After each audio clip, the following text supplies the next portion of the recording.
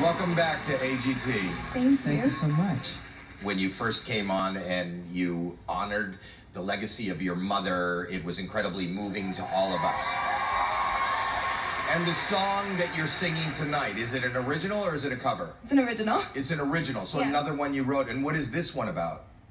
The song's about dealing with your demons and uh, coming to the realization that sometimes in life it's okay to not be okay, and that being vulnerable can be really, really powerful. Wow. And it's called Lifeline. Okay, go ahead, and best of luck to you. Thank you. I want you I let people.